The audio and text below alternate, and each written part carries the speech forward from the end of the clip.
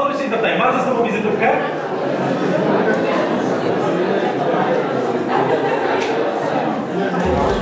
A teraz odwróć się do tego samego sąsiada, sąsiadki i zapytaj to, dlaczego mi jej jeszcze nie wręczyłeś.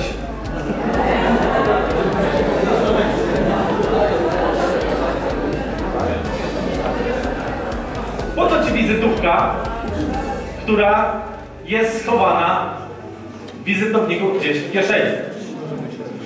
Po co ci strona internetowa, skoro i tak nikomu jej nie pokazujesz? Strona internetowa zrobiona tylko po to, żeby była, jest jak wizytówka trzymana w kieszeni. Może być najpiękniejsza, może być najładniejsza, może zawierać wszystkie potrzebne dane kontaktowe, aby klient do Ciebie zadzwonił. Ale jeśli nikomu jej nie pokażesz, nikomu jej nie wręczysz, możesz zapomnieć o tym, że będziesz sprzedawać.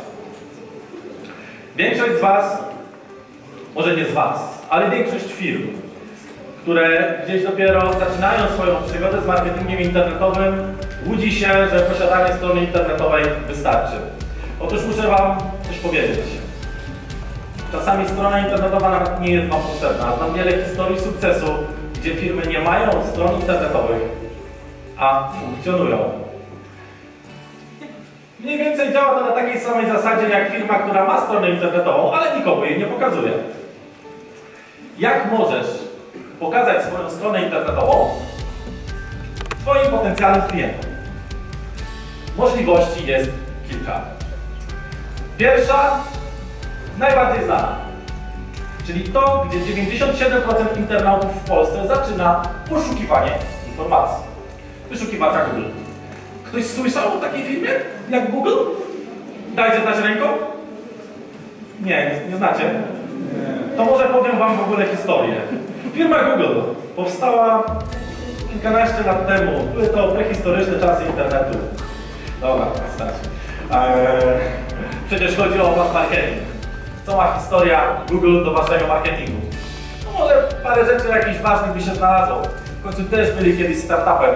Też kiedyś byli firmą, która miała siedzibę w małym pokoju, w małym biurze i zatrudniała tylko kilku bądź kilkunastu pracowników. Dzisiaj Google pozwala nam na dwie formy marketingu. Pierwsza z nich to Google AdWords.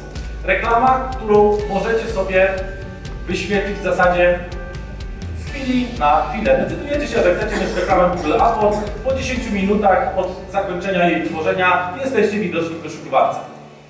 Ktoś korzystał kiedyś z tej formy reklamy? Niewiele osób. Może to i lepiej, bo to jest drogie. Ale to, że jest drogie wcale nie znaczy, że nie warto z tego korzystać. Dlatego, że dzięki wyszukiwarce Google docieramy do konkretnych grup odbiorców, które poszukują naszych produktów i usług. Weźmy teraz na tapetę porównanie wyszukiwarki z mediami społecznościowymi. Oczywiście posłużę się Facebookiem, dlatego że jak mówimy media społecznościowe, to każdy z nas myśli Facebook. Zgadza się? Facebook działa na takiej zasadzie, że kiedy zaczynasz tam reklamę, musisz po pierwsze wzbudzić zaufanie, wykreować swój wizerunek i wzbudzić chęć posiadania Twojego produktu. Google działa zupełnie inaczej. Kiedy włączasz Google, potrzebę już masz. Wpisujesz frazę, którą chcesz znaleźć.